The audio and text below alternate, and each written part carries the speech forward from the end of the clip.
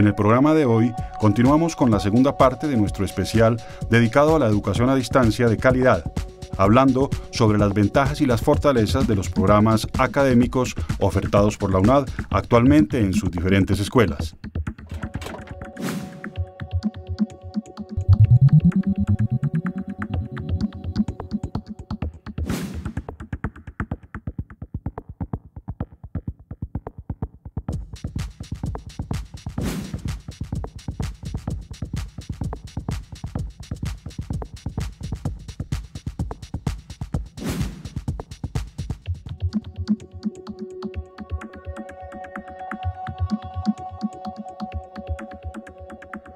Les damos la más cordial bienvenida a su programa Educación y Desarrollo, panel institucional de la Universidad Nacional Abierta y a Distancia, líder en tecnologías virtuales para América Latina.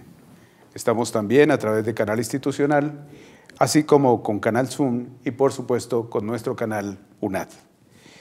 Hoy vamos a dar continuidad a una serie que hemos elaborado con el fin de ilustrar a nuestros eh, televidentes sobre la educación a distancia que ofrece la UNAD y sobre sus diferentes posibilidades de oferta, así como las condiciones con las cuales esa oferta académica se desarrolla a lo largo y ancho de Colombia.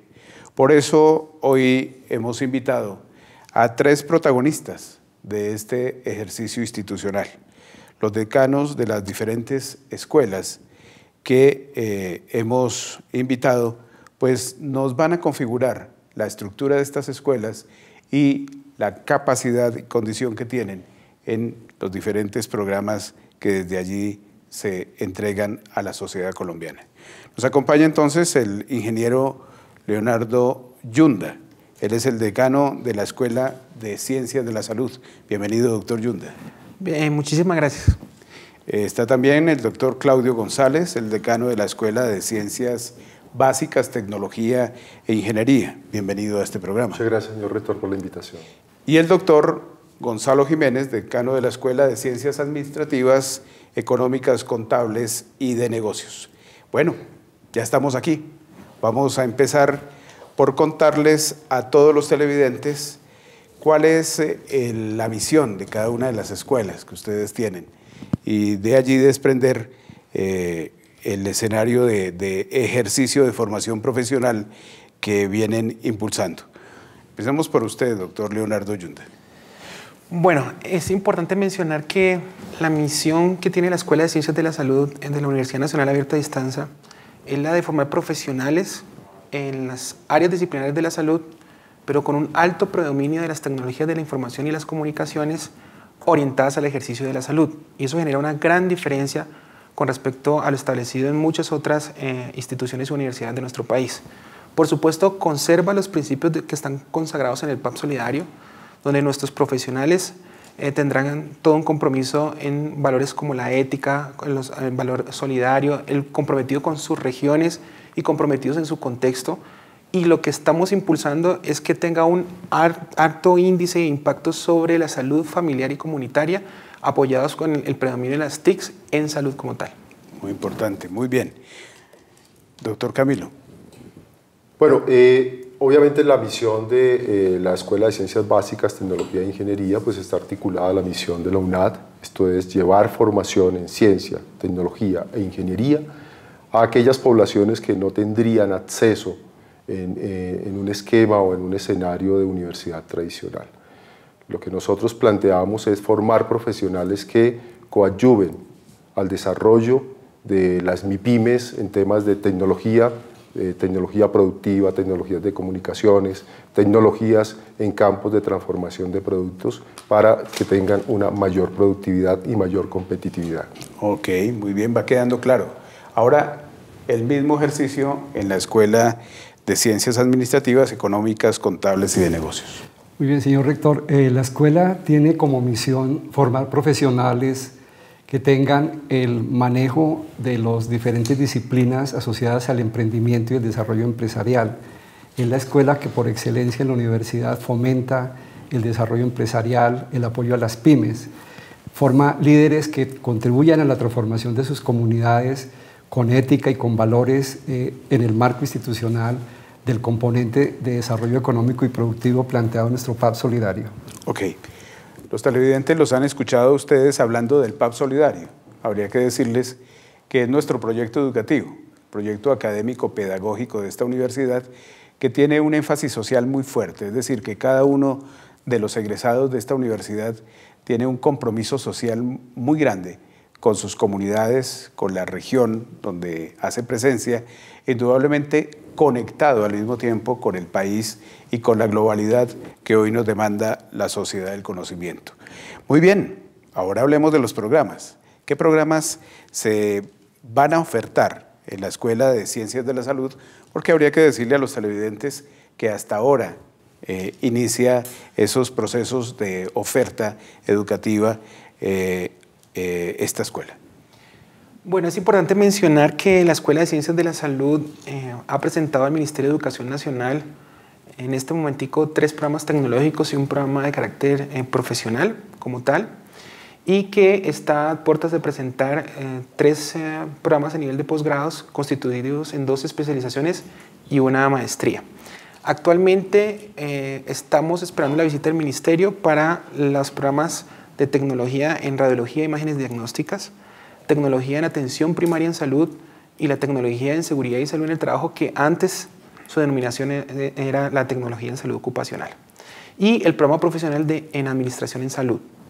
De igual manera, esperamos para el próximo año, junto con estos, ofertar la especialización en medicina y terapias alternativas, la especialización en enfermedades tropicales y la maestría en telesalud, de la cual en la actualidad eh, estamos buscando las alianzas estratégicas porque se va a presentar a través de una titulación conjunta con otra universidad de nuestro país, también de carácter público, y haciéndole fuerza a lo que está contenido en la ley, donde nos dice la 1438 que es indispensable generar competencias en telesalud para todos los profesionales en salud eh, que están actualmente en nuestro país. Es importante y relevante eh, en este caso particular decir que todos estos programas tienen un alto impacto en las regiones y que el predominio de las, TICs, de las TICs perdón, en este contexto de la salud va a generar de que nuestros profesionales a través de la herramienta de la telemedicina puedan generar eh, todo el concepto de asistencia de la atención primaria en salud a distancia desde regiones urbanas como los cascos urbanos como Bogotá, como Cali, Medellín, pero con impacto definitivamente en las regiones, que es el gran problema que tiene nuestro país en la actualidad. Ese es un tópico muy importante que ahora más adelante seguramente el señor decano nos va a profundizar de mejor manera. Ingeniero, su oferta educativa en la UNAD. Muy bien, eh, nosotros tenemos 13 eh, propuestas de formación eh, agrupadas en lo que nosotros denominamos cadenas de formación. Son cinco programas de ingeniería, seis programas de tecnología y dos especializaciones. en esas cadenas son sistemas, el área de sistemas, en la cual tenemos un programa de tecnología en desarrollo de software, un programa de ingeniería de sistemas, el cual cuenta con acreditación de alta calidad por el gobierno nacional. Tenemos también allí una eh, especialización en seguridad informática. En el campo de la electrónica, las telecomunicaciones y las redes tenemos dos programas de tecnología, uno en gestión de redes y otro en automatización electrónica, un programa de ingeniería electrónica, un programa de telecomunicaciones. En el campo de los alimentos estamos trabajando con una tecnología en alimentos, un programa de ingeniería de alimentos y una especialización en procesos de alimentos y biomateriales. En la cadena de industrial tenemos eh, un programa de tecnología en logística industrial y un programa de ingeniería industrial. Y en el campo del audio tenemos un programa de tecnología de audio. Igualmente estamos trabajando en eh, nuevas, nuevos programas, nuevas propuestas, especialmente a nivel de posgrado, eh, para este año tenemos proyectadas dos maestrías, una en, la cadena de sistemas y otra en la cadena de alimentos. Y para el próximo año estamos proyectando una más en eh, la cadena de electrónica, telecomunicaciones y redes y otra en eh, la cadena de industrial. Muy bien. Ya van viendo ustedes, queridos televidentes, cómo esta oferta que hace la UNAD no tiene ningún tipo de restricción en cuanto a campos de formación y en cuanto a disciplinas. Esa es una de las grandes ventajas que se ha evolucionado en este tipo de educación virtual eh, con el uso intensivo de las tecnologías y que indudablemente se convierte en un desafío de la educación en todos los niveles eh, para formar profesionales en todas las áreas con las demandas del siglo XXI. Vamos a ir a unos cortes institucionales, ya regresamos en este especial sobre las ofertas educativas de la universidad para seguir conversando con el doctor Gonzalo Jiménez sobre la oferta de la Escuela de Ciencias Administrativas, Económicas, Contables y de Negocios. Formarse profesionalmente y con la mayor calidad es posible. Donde estés, la UNAD ofrece programas virtuales con cobertura internacional y homologados en los Estados Unidos. El mundo de hoy no tiene fronteras. UNAD, la universidad donde estés.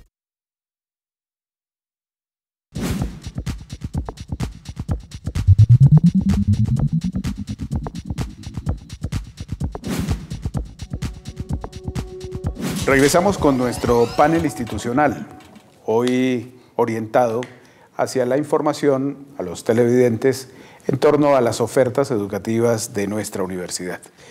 Habíamos dejado pendiente al doctor Gonzalo Jiménez para que nos cuente sobre las ofertas de su escuela. señor rector, la escuela tiene seis programas de formación tecnológica, tiene tres especializaciones, una maestría y un programa de administración de empresas acreditado en alta calidad. Las seis tecnologías son tecnología en gestión comercial y de negocios, la tecnología en gestión agropecuaria, la tecnología industrial, la tecnología en transporte, la tecnología en empresas asociativas y solidarias.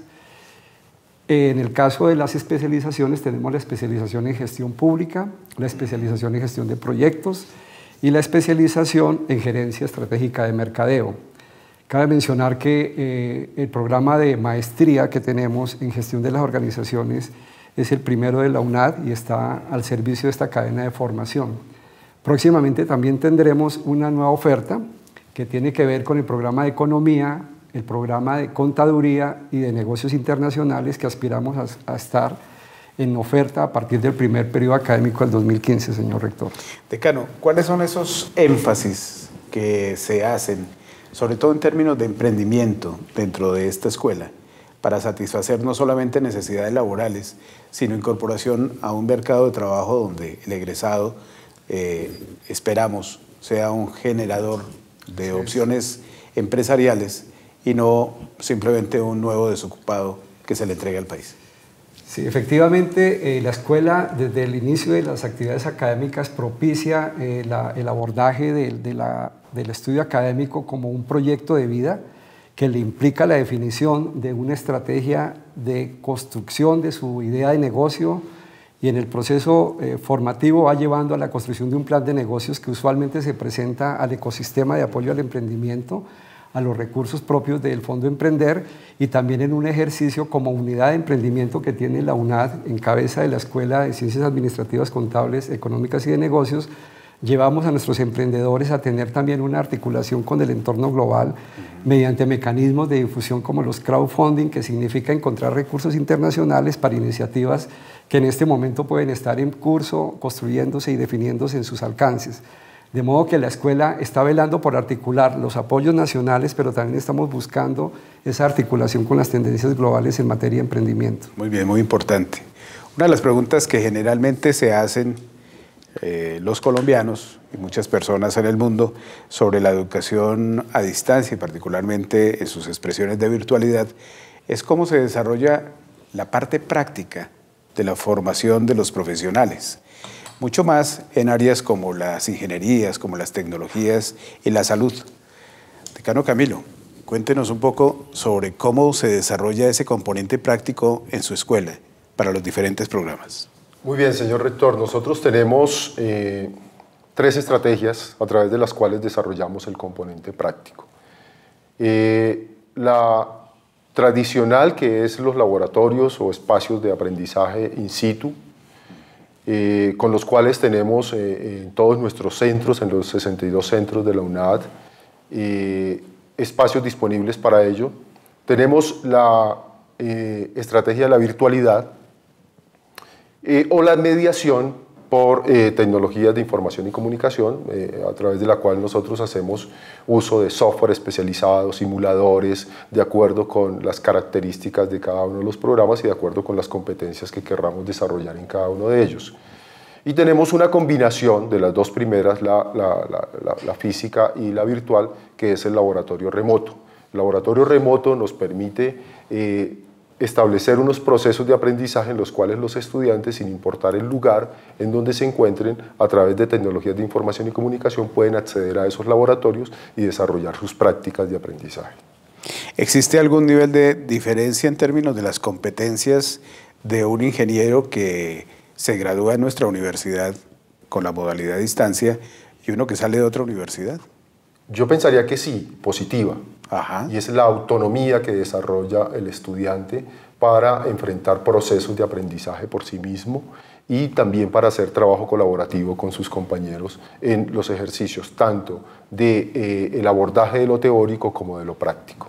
¿Y en el componente práctico hay algún tipo de limitación que nuestro ingeniero no puede desarrollar? Ninguna, doctor.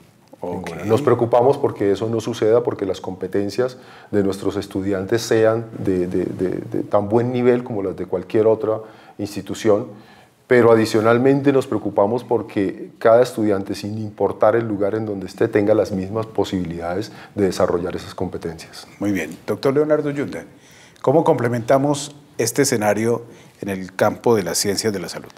Sí, es importante mencionar con lo que decía nuestro colega Claudio Camilo, a partir de las tres estrategias que están claramente definidas y hace parte del componente práctico en todas las escuelas, es que en el tema particular de la Escuela de Ciencias de la Salud, y sé que es una reiterada pregunta, a partir del uso y el predominio de la salud y particularmente lo que tiene que ver con el esquema de la telesalud y la telemedicina en Colombia que nos permite generar una buena cantidad de laboratorios eh, virtuales asociados a eso, es que la Escuela de Ciencias de la Salud no se desprende de lo que está regulado en el decreto 2376. ¿Qué significa eso para nuestros futuros estudiantes? Y es que cuando requerimos de prácticas clínicas, el concepto asistencial dentro de los hospitales o los centros de salud se siguen desarrollando de manera presencial. En ese contexto en particular, la Escuela de Ciencias de la Salud y la universidad ha hecho ingentes esfuerzos para tener convenios en todas las zonas en que eh, tenemos cobertura en el país lo cual significa, como sucede en la presencialidad, en una universidad presencial el estudiante hace toda su parte de formación y cuando tiene que ir a hacer sus prácticas docencia servicio en un hospital tiene que trasladarse obligatoriamente. Exactamente sucede eso con nosotros. Una vez que el estudiante tiene que hacer sus prácticas profesionales o sus eh, extramurales o sus prácticas clínicas, tienen que trasladarse hasta su sitio de, de aprendizaje y ahí va a tomar todo el desarrollo de sus competencias. Pero yo quiero anexar algo adicional y es que es bueno y importante que se sepa que en las ocho regiones del país la universidad ha hecho un máximo esfuerzo para dotar con laboratorios que son transversales no solamente a la Escuela de Ciencias de la Salud, sino a las escuelas que así lo requieren para que sus estudiantes tengan la posibilidad de generar las competencias en el desarrollo práctico. Es importante y me imagino que en algún otro programa se podrá ver todo el esquema y la dotación que hemos hecho con respecto a eso, señor rector. Muy bien, yo creo que los televidentes ya tienen claro que no hay escenarios vedados para este tipo de educación, que indudablemente el desarrollo que hoy eh, se ha dado en los modelos pedagógicos, en las posibilidades de las tecnologías de la información y la comunicación, nos colocan en un contexto muy diferente al que tradicionalmente hemos estado acostumbrados, pero con la garantía de la calidad de la pertinencia en la generación de competencias de este tipo de egresados que indudablemente los hacen muy competitivos a la hora de eh, asumir responsabilidades profesionales. Llegó nuevamente la hora de los mensajes institucionales. Recuerden enviar sus preguntas al correo educación.desarrolla.unad.edu.co y en Twitter a arroba universidad UNAD. Estamos esperando que nos sigan preguntando. Ya regresamos. En cualquier parte del mundo, no importa la edad, si eres joven, adulto o adulto mayor, puedes formarte en la UNAD con la mejor tecnología para que desarrolles tu carrera profesional, maestría o doctorado. Ingresa a www.unad.edu.co y matricúlate ya. UNAD, educación para todos con calidad global.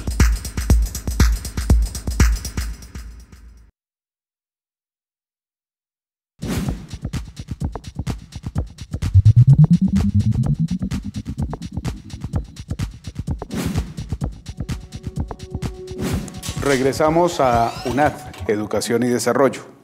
Hoy con el tema sobre la oferta educativa de esta universidad en el sistema de educación superior.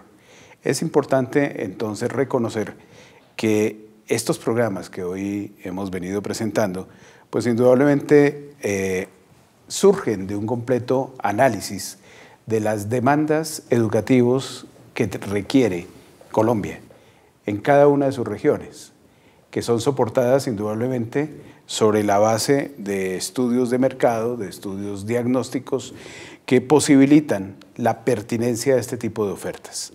Vamos a pedirle a cada uno de los decanos que en esta última parte del programa nos eh, convenzan de por qué eh, ustedes o muchos de sus conocidos deberían de estudiar en esta universidad. Ingeniero Yunde. Bueno, es importante para todos los que nos están viendo eh, que primero reconozcamos las problemáticas en salud que tiene nuestro país. Y eso significa grandes regiones de nuestro país que están completamente apartadas y desprotegidas desde el sistema de salud eh, como tal. Y cómo el recurso humano que se ha ido formando se ha concentrado en las grandes urbes, se ha concentrado en las, en las grandes ciudades capitales y se ha desprotegido aún más todo el esquema de las ciudades medias eh, y las ciudades que tienen muy poca población.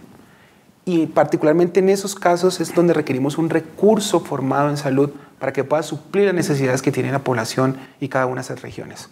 Y eso es lo que va a permitir estos programas en particular, donde no tenemos límites desde el punto de vista del lugar, ni tenemos límites desde el punto de vista de la oferta de nuestros programas.